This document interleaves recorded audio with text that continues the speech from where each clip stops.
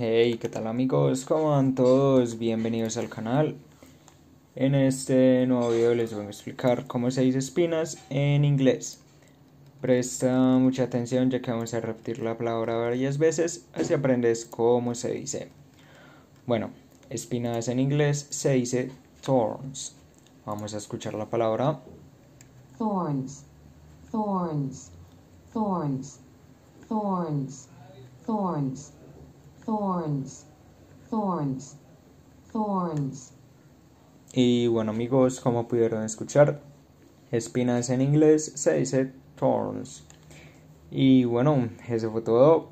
Espero les haya gustado y servido mucho la información.